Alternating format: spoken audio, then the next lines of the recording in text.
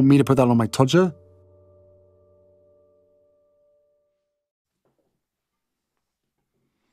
Harry's wife. The stench of desperation.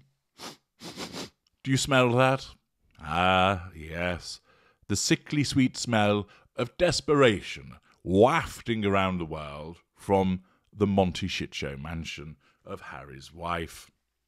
What is it this time that she's so desperate about? Well, unsurprisingly, it links to the prime aims of ensuring that she has control and draws fuel from people. Things really aren't going very well for Harry's wife. Snubbed by the A-listers, political ambitions seemingly going nowhere and unlikely to ever do so. I'll be reporting on that in a forthcoming video as to how she'll never get into the White House. The fact that the only person that seems to invite them round these days is Ellen DeGeneres, and that's because she's largely persona non grata with many people herself and is desperate to at least have somebody that she can cause to squat and take the piss out of. A supposedly burgeoning career as an author has gone up the Swanee. She's no fashion icon, as we know. The various ghastly outfits of Kermit Goes to Church, Tent by Army Surplus, The Bouncing Berry of Harlem, Chairman Mao Goes to New York, Fridge by Valentino, One of Our Jowls is Missing, Teacup by Royal Doulton, Hyacinth Bouquet's settee cover, and many others, a testament to the fact that a supposed career as a fashion icon is denied to her. Roundly ridiculed as a consequence of the content of Spare, groaned at as a consequence of the self indulgent wankfest that was the Shitflick series, and of course, fresh off the spanking that they've just received courtesy of South Park, things are not going well for Harry's wife as she faces challenge after challenge after challenge. And therefore, as always, the only thing that she's able to do is try and rally through the application of some PR dollars some of the supine publications. You recall that this stable includes People.com, Town and Country, Hello, Tatler, Harper's Bazaar, sometimes the Daily Mirror, Cosmopolitan, Marie Claire, and Vanity Fair. This time it falls to Vanity Fair in an article which smacks of being written by Harry's wife herself. I'll let you determine whether you think that's the case.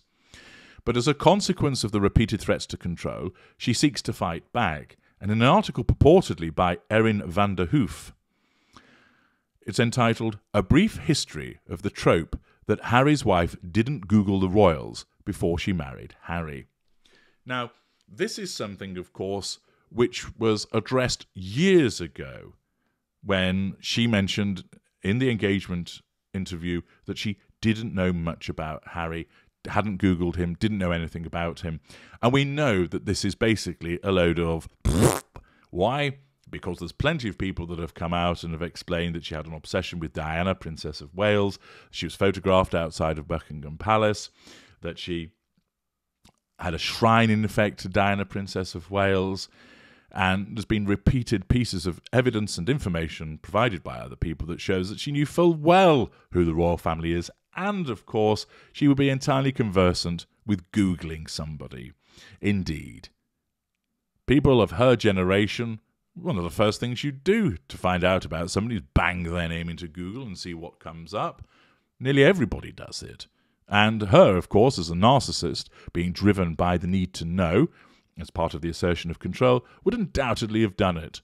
But now we're being regaled with a supposed history that tells us she didn't do this.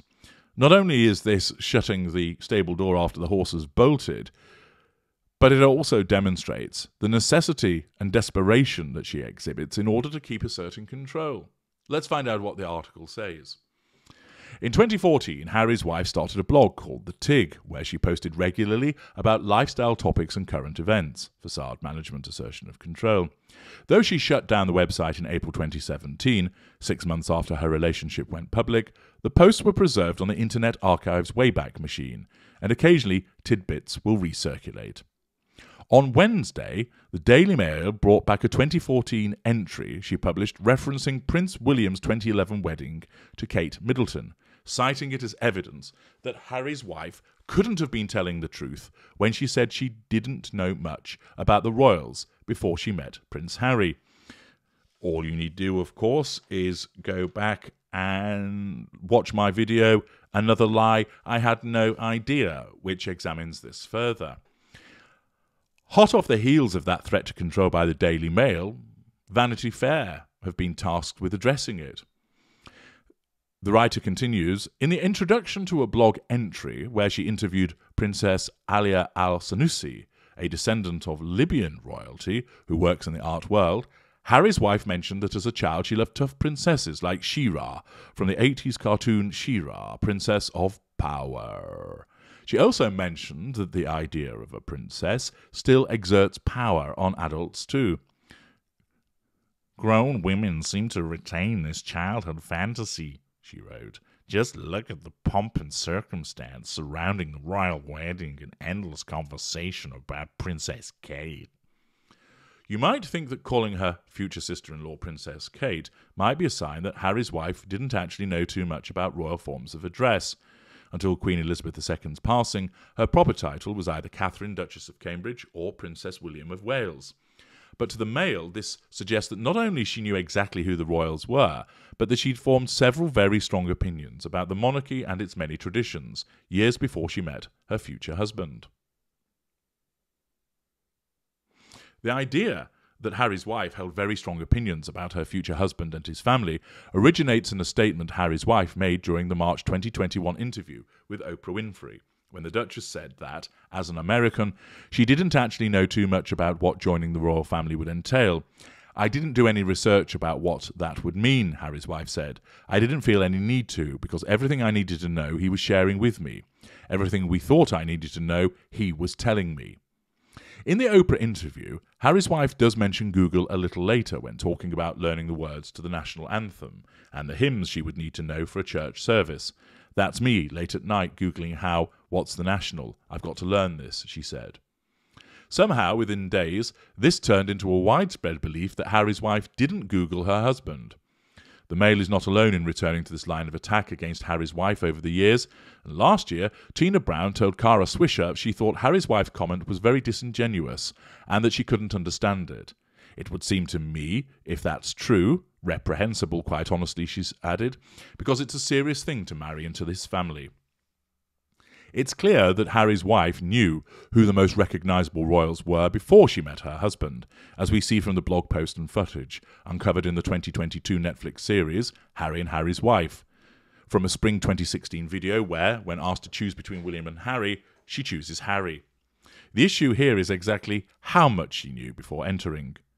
For the British tabloids, the trope is an opportunity to accuse Harry's wife of being dishonest in a low stakes technical way, but it also reflects a broader disconnect between how British people see the royal family and the way the rest of the world does.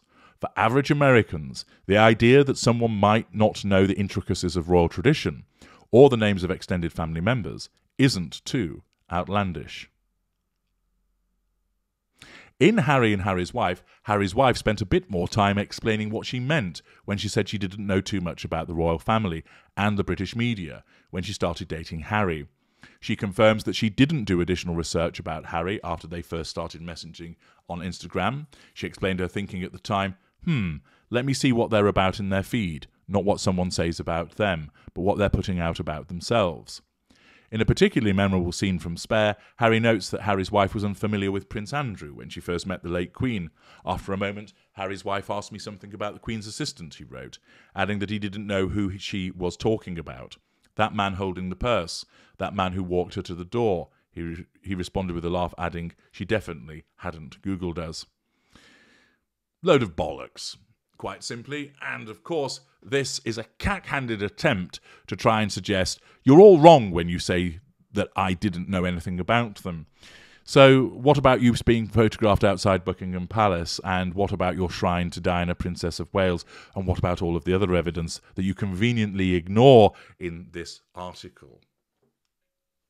It's laughable, really, that as a consequence of the Daily Mail allegations about uh, brought about from the 2014 blog entry, rather than just ignore it, Harry's wife feels motivated to try and set the record straight. And of course, her narcissism d- dictates her to issue an instruction through her PR people, or maybe directly to Vanity Fair, issuing they dictate sort this out.